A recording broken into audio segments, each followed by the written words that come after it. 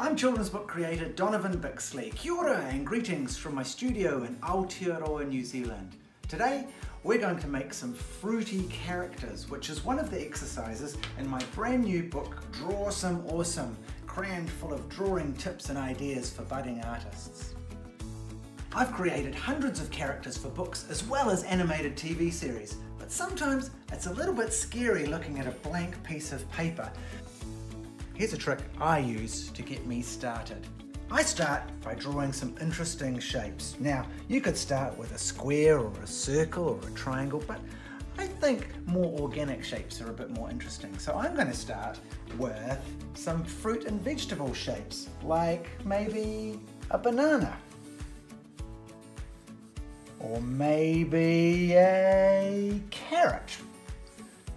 Or maybe um, broccoli, there we go. Now, I'm going to turn these fruits into interesting characters. Now the trick is, I'm just going to turn my brain off a little bit and just let my pencil start drawing something that I didn't even know it was going to draw. So first of all, I'm going to start with this, this banana here. Should I give it long legs or short legs? There we go, I'm going to give it some legs. I'll turn that into a tail. Ooh, what about that a nose. Oh, what about uh, put some ears like this, some eyes. How about some arms? There we go. What about this carrot? What can I do with this carrot? Maybe I will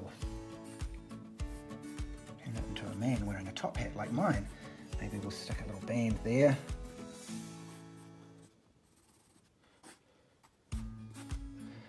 Turn that into some flowers or some ruffles coming out the top of the hat.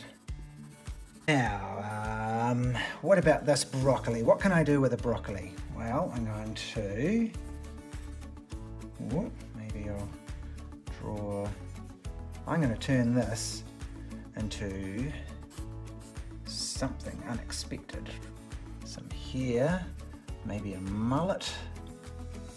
What about uh, give this character uh, some legs. Oh, they're kind of a bit, a bit squashed down the bottom there. Oh, he's got a big six pack. I'll give him a, a skirt like you might wear if you're a Pacific Island demigod like Maui. Oh, and if he's going to be Maui, he might need to have his magical hook. Da-da! Maybe a feather in his hair. Maybe some tattoos. Give him some full face tattoos. Give him some tattoos on his arms and shoulders. There we go. Now we have some cool characters where a few moments ago we just had a blank piece of paper. So that's just a really good starting point to get me going. And if I was making some characters for a book, I would just keep drawing and drawing, trying different ideas, trying different noses and faces and ears and hair and clothes until I came up with something that I liked. This is just one of the many ideas from my brand new book, Draw Some Awesome, crammed full of ideas for budding artists.